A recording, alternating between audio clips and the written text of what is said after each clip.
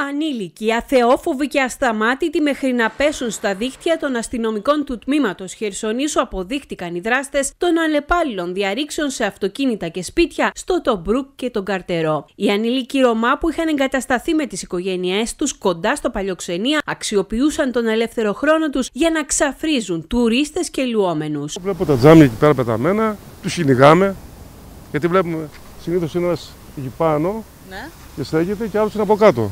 Τσίλες ακριβώς.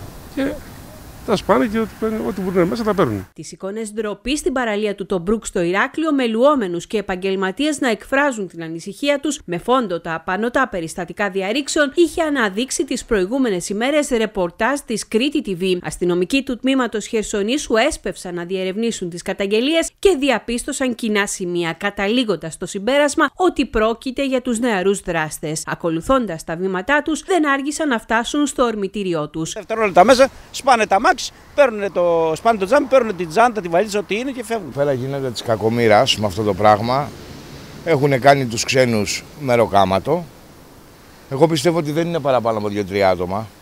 Από το πρωί της Δευτέρας και αφού συγκεντρώθηκαν τα απαραίτητα στοιχεία, ξεκίνησε η αστυνομική επιχείρηση για τη σύλληψή τους. Τις τελευταίες μόνο ημέρες διέπραξαν εννέα κλοπές και μία απόπειρα σε αυτοκίνητα, οι οποίες εξηχνιάστηκαν άμεσα, ενώ ερευνάται η συμμετοχή τους και σε άλλες διαρρήξεις. Την ίδια ώρα, στα χέρια αστυνομικών της ασφάλειας Ηρακλείου έπεφταν οι δύο από τους τρεις δράστες της ληστεία σε πρακτορείο του ΟΠΑΠ στην 62 Μαρτύρων.